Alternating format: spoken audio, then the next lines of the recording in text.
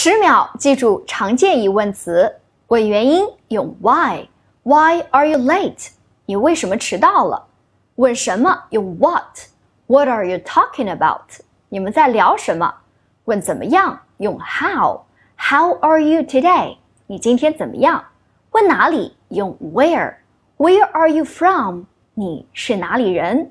问谁用 Who？Who are you？你是谁？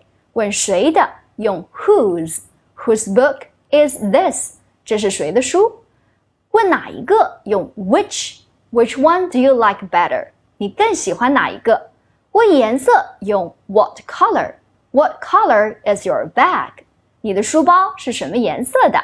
问时间用 What time？What time is it now？现在是什么时间？问几岁用 How old？How old is he？他几岁了？ 问多少用 How many？How many shoes do you have？你有多少双鞋？